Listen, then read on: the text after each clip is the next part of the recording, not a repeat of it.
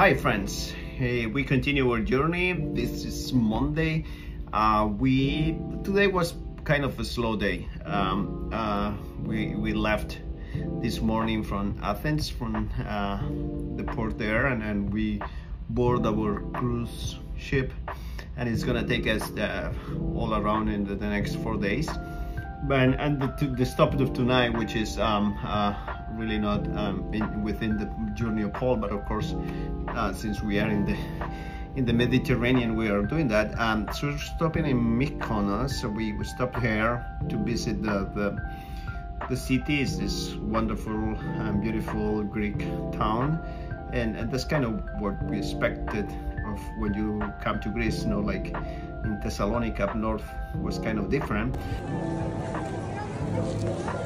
So here we are in Mykonos. This is the area of, um, they call it Little Venice. And this is how fantastic this is.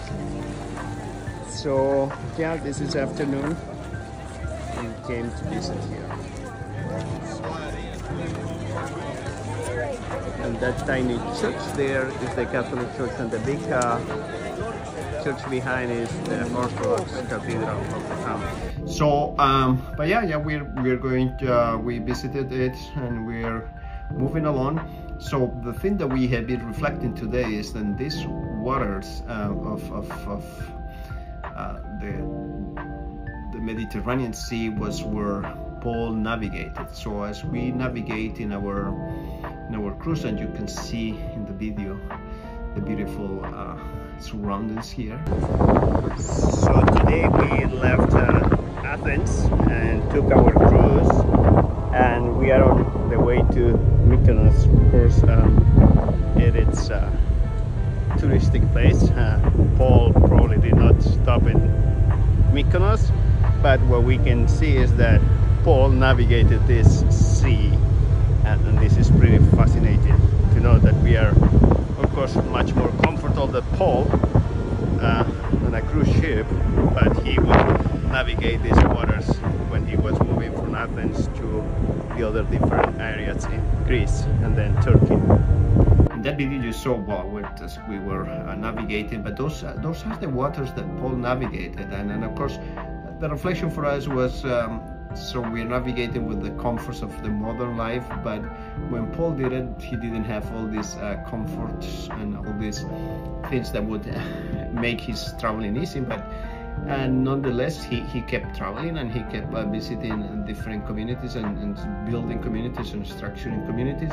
We also reflected on that today no? How, how are we committed to build community in our parishes and how can we rekindle that spirit that was in the early church to, to inspire others and, and to create communities out of nothing. And, and we reflected on how Paul did in Thessalonica, how he did it in Philippi, how he did it in Berea and how he is doing it, he did it in Athens. And, and moving every place that he went, he went to to to preach the gospel and create and build community.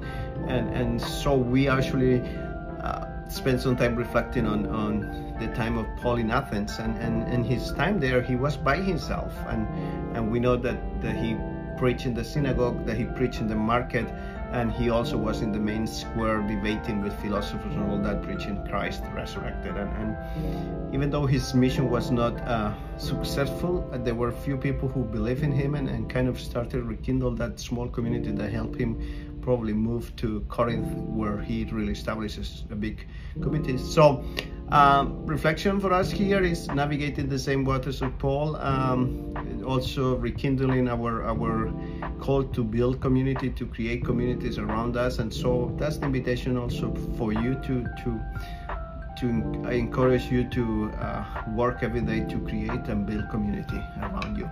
So um, tomorrow we'll have more about uh, FSO and that will look really great.